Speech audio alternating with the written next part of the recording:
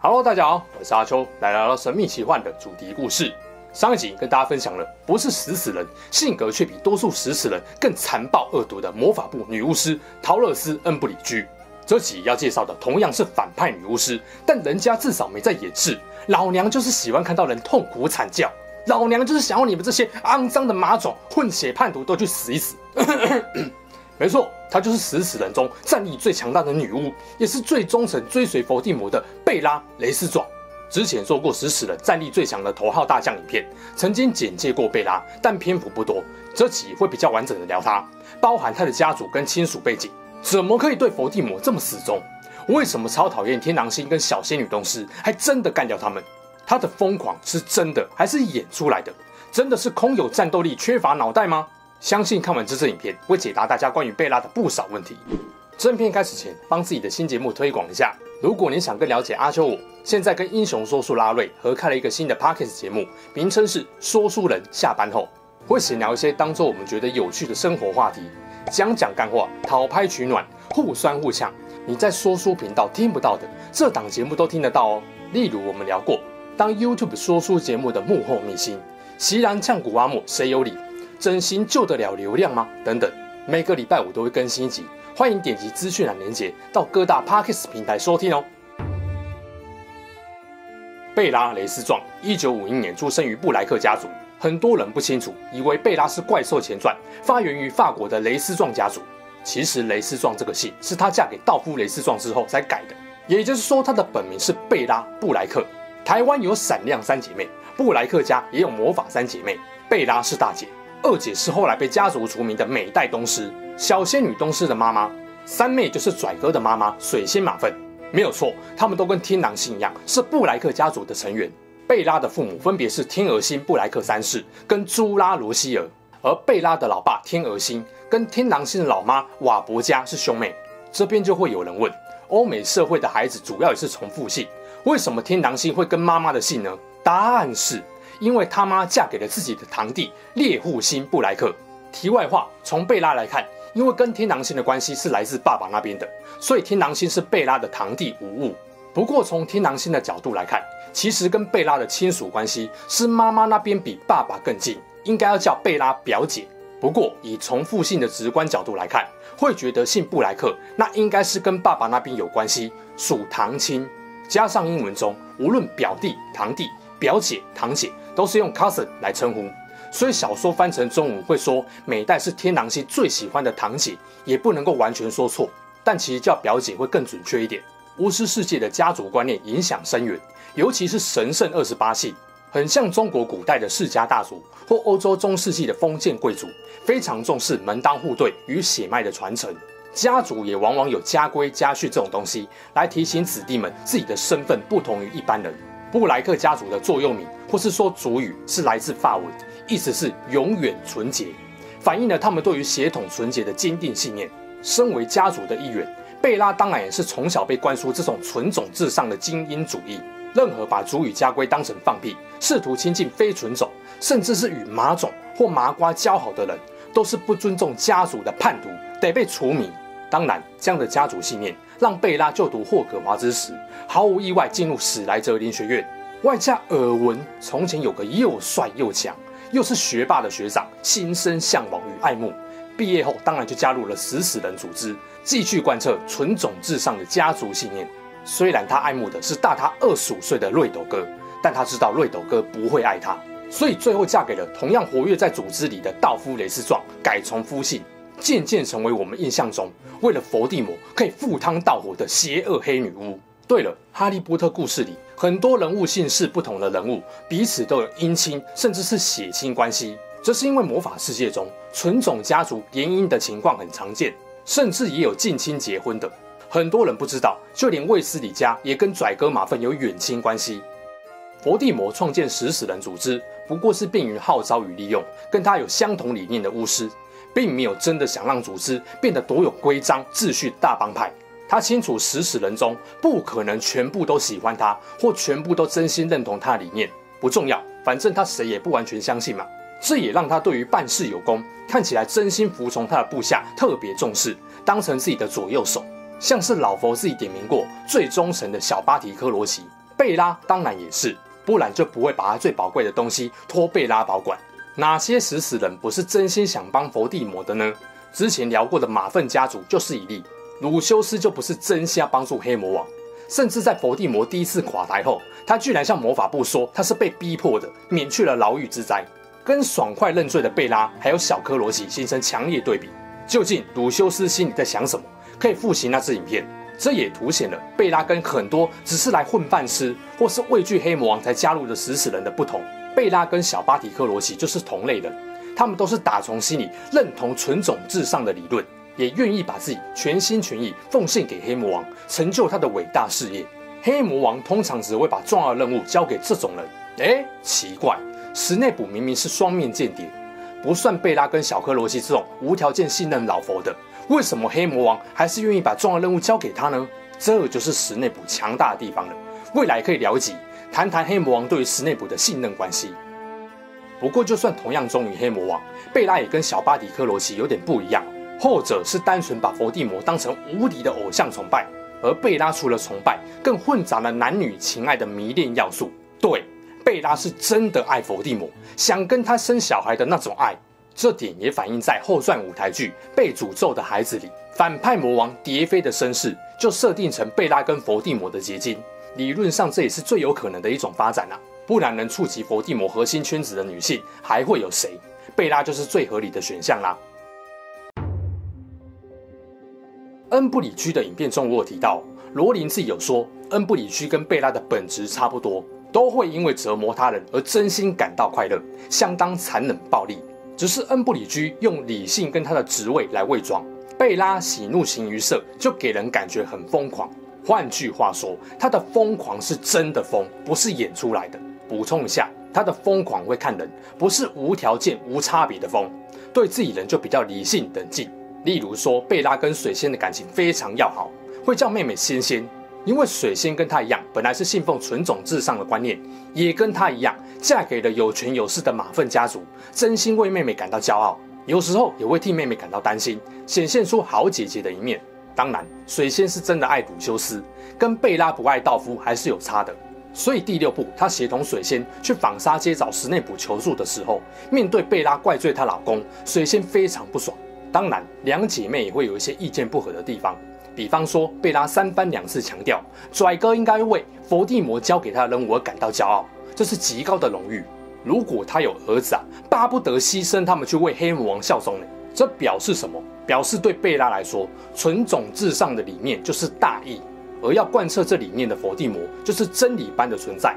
黑魔王面前，任何人事物都是次要的，可以被舍弃的，包含他自己。由于他是真心认为为伏地魔牺牲是光荣的，所以看似不管拽哥死活的话，其实是带有安慰妹妹的意思在的。能为黑魔王崇高理念而死的人也没几个嘛，这大概是人一生中最棒的死法的。你们当父母的应该要开心才对啊！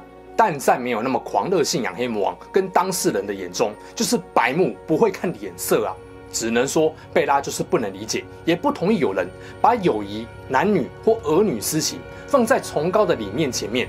即便是血亲，只要不守主语家规，不坚定信奉黑魔王纯种至上理念的人，在他眼中都是可以被消灭的敌人。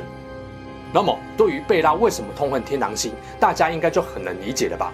主因就是天狼星是纯种叛徒，身为布莱克家族最后一代的继承人。他不认同家族对于纯种优越的观念。进入霍格华之后，被分到葛莱芬多，而不是史莱哲林，也打破了家族的传统。面对家人的不满与指责，正值叛逆期的天狼星毫不在意。他甚至用横年咒把葛莱芬多布条、身穿比基尼的麻瓜女孩照片、摩托车照片，跟自己还有朋友的合照粘在墙上，用来激怒父母。而对于贝拉跟水仙两个堂姐分别跟纯种望族联姻，他也表现得非常不屑。处处展现自己亲近麻瓜跟马种的价值观，更离家出走，所以就在十六岁被家族除名了。除名也没有让贝拉对堂弟的气消，甚至天狼星后来加入凤凰会，跟自己的主人对干。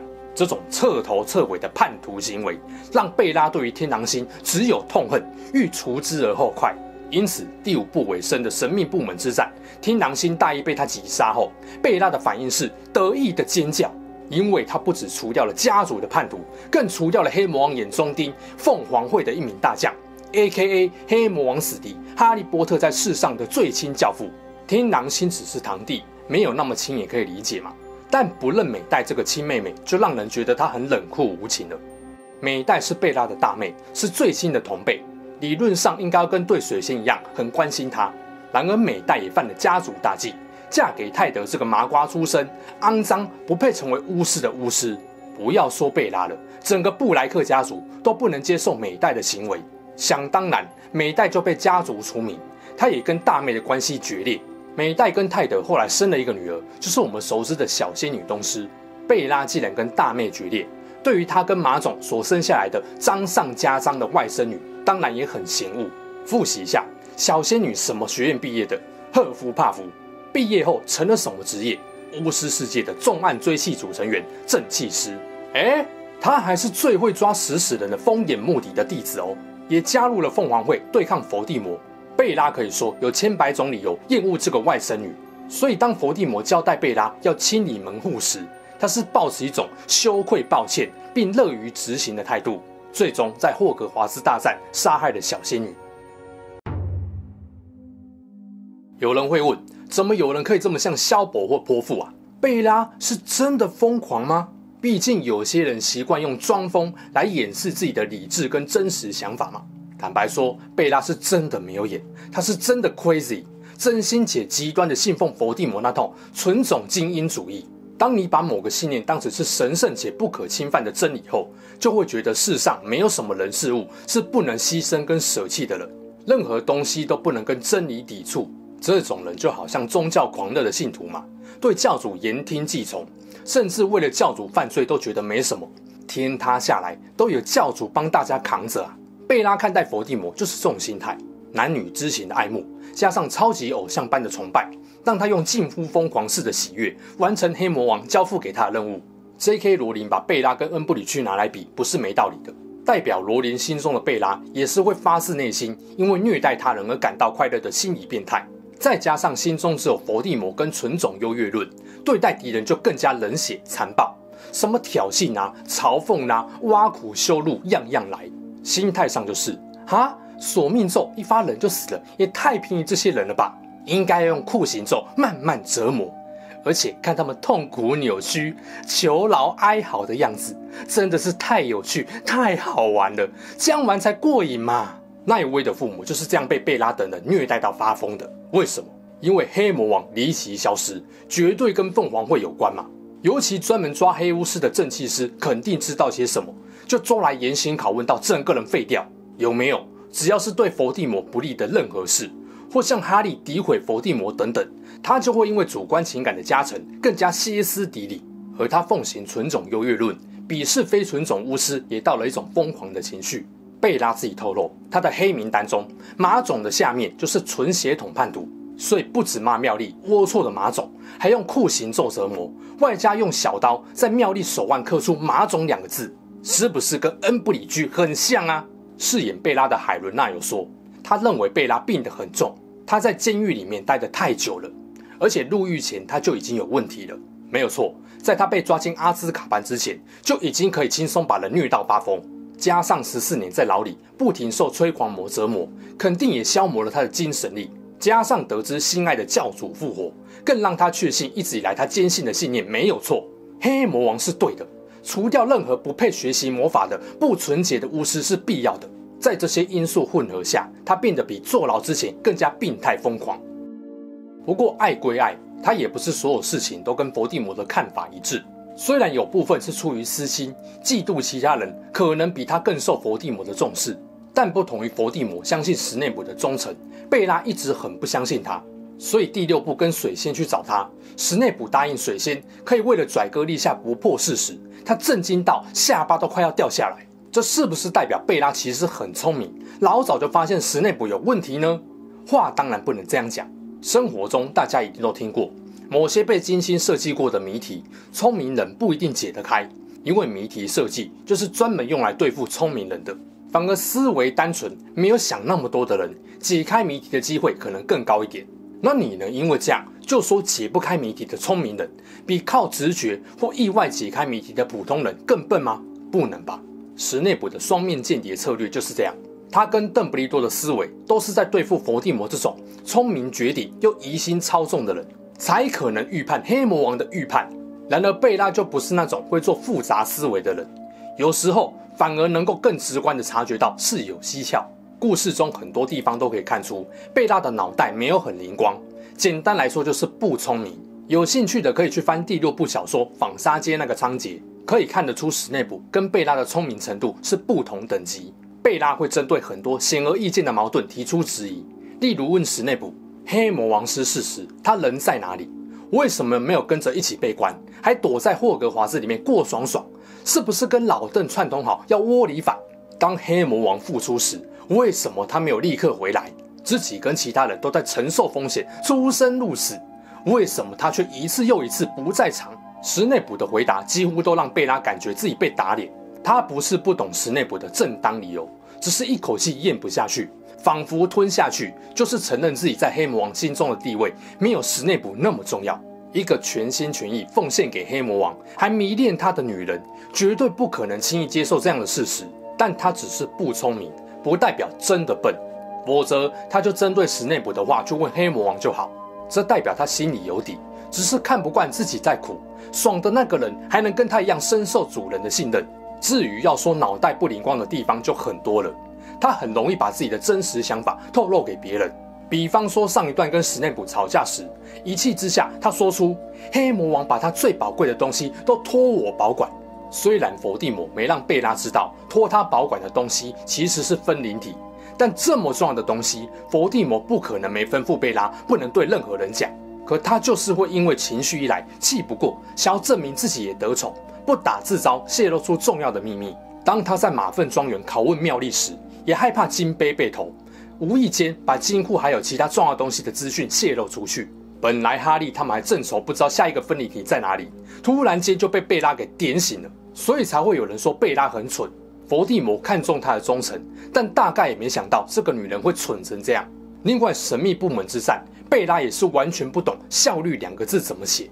面对六个未成年巫师，讲了一堆废话，可以速战速决，却自己拖到凤凰会的成员加入战局，甚至抢水晶球时，还几度想用召唤咒，还得鲁修斯提醒，这样可能会摔破水晶球。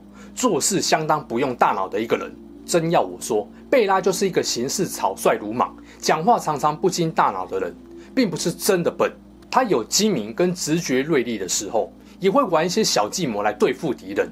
只不过一旦牵扯到伏地魔或是种族有关的事，他就容易让情绪左右自己，变得疯癫狂暴。如果谈到他对伏地魔的爱，那就更凸显他的病态了。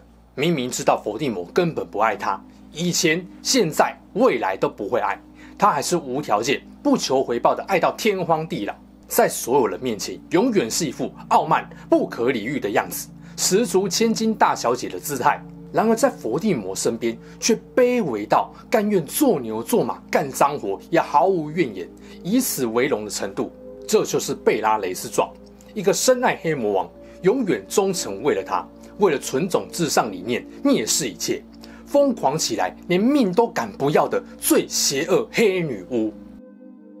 如果想听我聊更多哈利波特的故事，欢迎订阅我的频道。想更了解我这个人，也可以到 Parkes 平台搜寻“说书人下班后”这个节目哦。我是阿秋，我们下期影片再见，拜拜。